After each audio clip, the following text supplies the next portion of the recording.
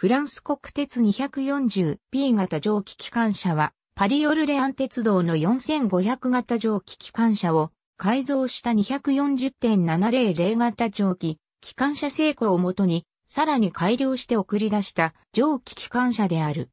1930年代に入りパリオルレアン鉄道は、自らの幹線の高速化と重旅客化を計画していた。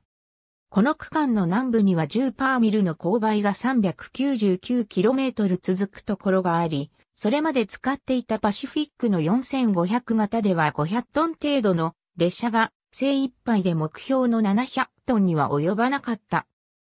そこで当時のケムだったエピナワ4軸の旅客機であるマウンテンが必要と考え、パリリオン鉄道から 241CE マウンテンを購入するか、自社に一時対戦当時アルコ社から輸入されていた米国製のミカドを先はの交換と三気筒化の改造を考えていたが、東鉄道の調査研究部門のアンドレ・シャプロンは、二軸先台車と四軸動輪を両立させるため、4500系の重輪を外して、そこに動輪を置き、マストドンの車軸配置を使用することを提案した。しかし4500系のヒドコは、後部が広い台形なので、重輪を大きな動輪に変えるとここが引っかかってしまうため、強化室に改造する必要があり、そのままでは出力低下が懸念されたがフランスではすでにノール鉄道で強化室のパシフィックが存在しており、これのボイラーを採用して過室を前後に長くすることで飛行士面積3.76平方 M を確保した。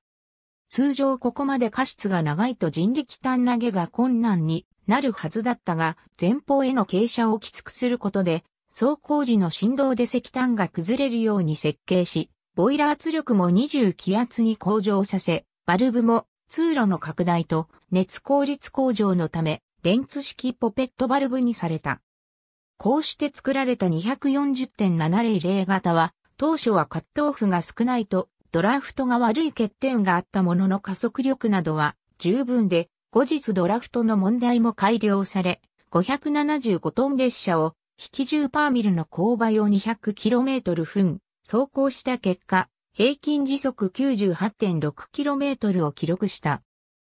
そして1936年にフランスの各鉄道会社が国鉄に統合された後、QPO 鉄道の南部に240.700型に改造されずに残っていた4500型も改造されることが決定され、シャプロンはこれに低圧シリンダの拡大とメカニカルストーカーを導入し、蒸気管の保温強化をした改良系を1940から41年に渡って作り、これらは以前の改造組との区別のため 240P と呼ばれた。使用は前期級パリリオン、地中海鉄道の本線で重量級高貨物列車の牽引に使用された。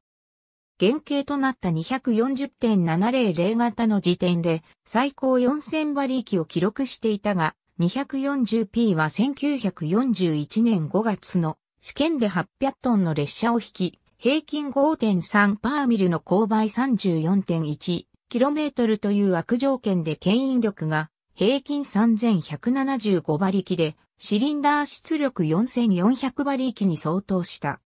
これを自長あたりにするとトにあたり39馬力で、ウェイトパワーレシオは蒸気機関車としては空前絶後の記録であり、また、フランス基準では故障の少ない機関車で、軸箱の焼け付きを起こしたことはあるもののこれは、仙台車のオイルパッドの故障によるもので、致命傷ではなかった。ただし、性能自体は高かったが、フランス国内では戦後石炭不足で大規模な電化が行われたので240型は、700も P も活躍期間はさほど長くはない。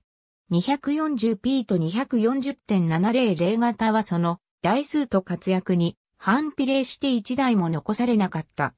改造機は保存の価値なしというのが理由であるが、実際は上層部の中にこの機関車を目障りに見た者がいたと考えられる。ありがとうございます。